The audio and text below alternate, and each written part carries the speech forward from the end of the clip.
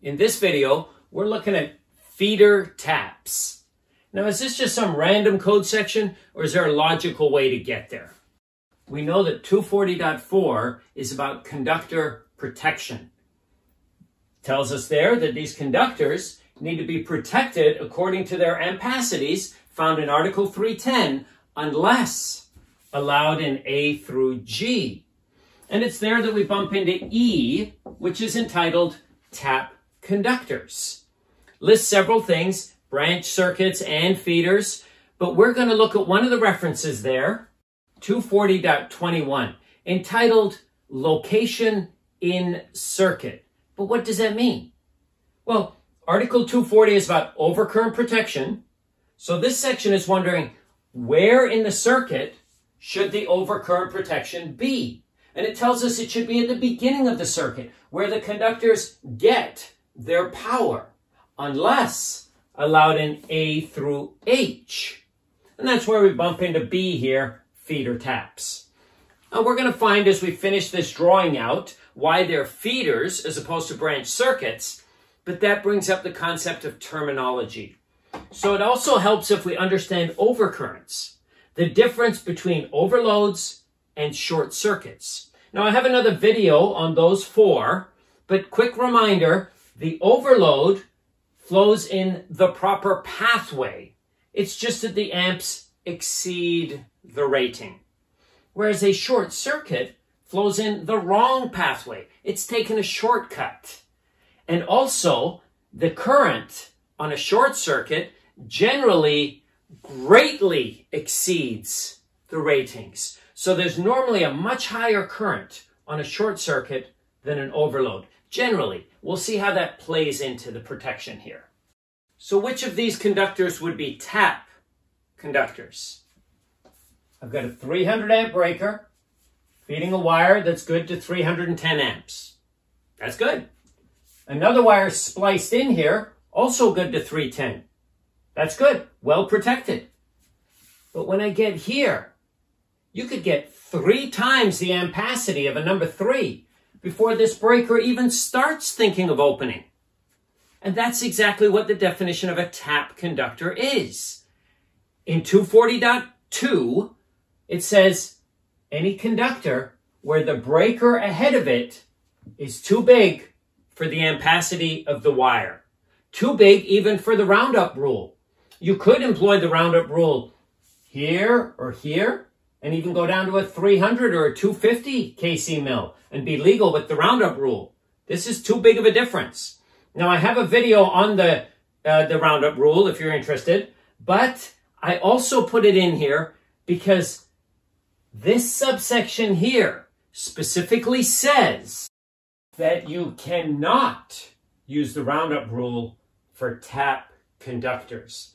The reason is the roundup rule allows you to take a, a lower ampacity conductor if you want and protect it with the next bigger size overcurrent device. But here we're skipping all kinds of sizes. This is too much of a difference, a bigger difference. And when does it become too small of a wire for this? The other thing I should add is I'm using ampacities from the 75 degree copper column. And with my number 10s and smaller, I'm using my small conductor ampacities as restricted in 240.4D, as in Dave. Here I've drawn a fuse disconnect, or you could have a circuit breaker in there too. And that matches the ampacity of this wire. So let's think of this concept. Could I use this device, even though it's at the tail end of the wire, the wrong end from our basic rule, could I use this device to provide overload protection for this wire? And could I use this device to provide short circuit protection? Because after all, the wires coming out of this disconnect are protected at 100 amps. They're fine, no restrictions here. And this wire here is protected by this breaker. It's only this section I'm concerned with. So let's look at these concepts. Overload says it's flowing in the proper pathway. It's just an excess of amperage. So if it's flowing in the proper pathway, it's going to come down here through the load, and I either have too many loads connected or I have a certain load that is laboring somehow, it's drawing more current for some reason, and then it goes back this way. But if it's going in the proper pathway and it's too many loads or the load is causing the problem, will this device trip? Yes, proper pathway. So if this device opens, will any current flow here? No, because the current will want to come here, but open circuit, can't go anywhere. So that would protect from overloads. But remember the short circuit, it's a wrong pathway. If we have some damage here, let's say someone saws through this conduit, is that going to cause a lot of amps to flow? Yeah, that's going to cause probably thousands, many thousands of amps to flow. And will that trip this breaker? Yes. So what we do with tap conductors is we use the device ahead of it to provide the short circuit protection and the device after it to provide the overload protection. And it's all based on these characteristics of these concepts. So if I can do that here, could I do it on the 30 amp as well? Yes, I believe I can. It would work in the same concept using the overload and short circuit concepts. Now, when I get to these rules, I go to B1, and it tells me that this wire here, the tap conductor, needs to have an ampacity great enough for the load that's connected.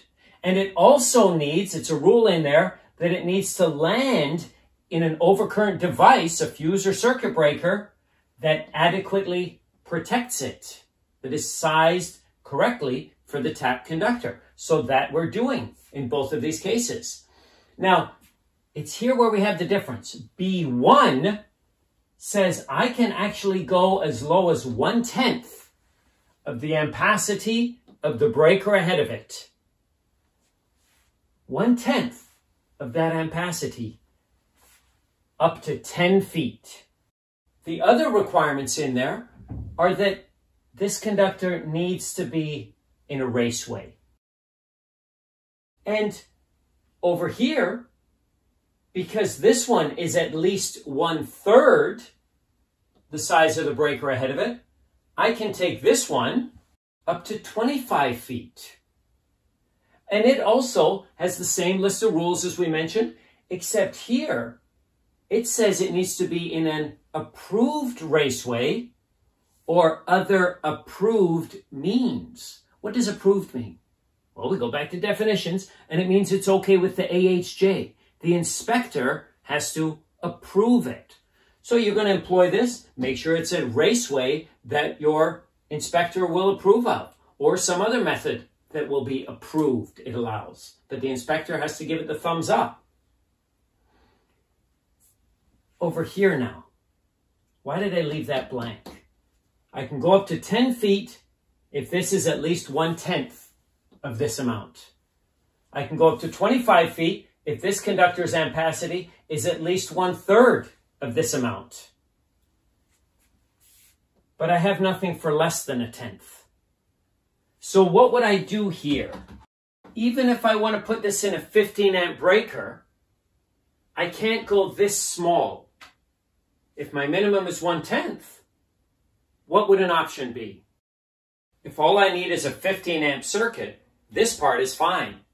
It's just the tap conductor needs to be upsized so its ampacity is at least one-tenth of the upstream device. Now what if I want to take these smaller ones and run them longer than 10 feet? Well, then I would have to use the 25-foot rule and upsize this to at least a number 3. And after this device, I could drop them back down again. And while I'm talking length, don't get confused into thinking you can put in a 10 foot stick of conduit here. You'd have wires sticking out the top and out the bottom. These lengths deal with the conductor, not the raceway. Final rule I'm going to look at, 240.21, the very first paragraph, the last sentence of that paragraph, essentially tells me I cannot tap a tap.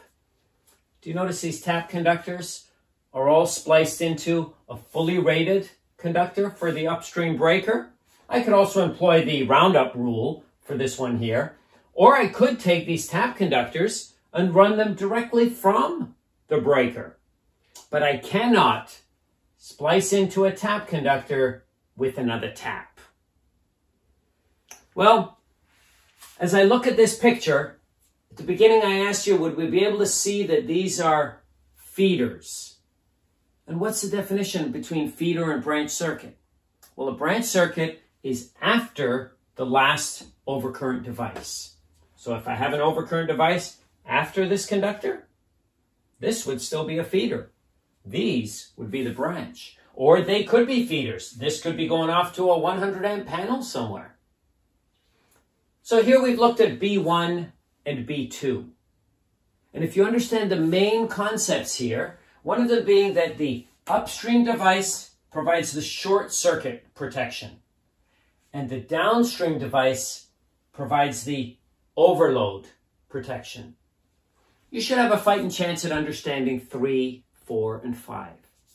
3 deals with transformers. As long as the primary and secondary conductor's total length is not over 25 feet, you can have a primary conductor that is at least one third of the upstream device. Still has to carry the load of the transformer. And then the secondary conductors, you have to use the transformer ratio to find out the equivalent amperage. Four deals with some manufacturing buildings, ones with walls at least 35 feet high. I can run more than 25 feet with one third of the ampacity, sometimes up to 100 feet. And five deals with outside tap conductors, unlimited in length. Now, each of those has its own particulars, but the main concepts are the same. Thank you.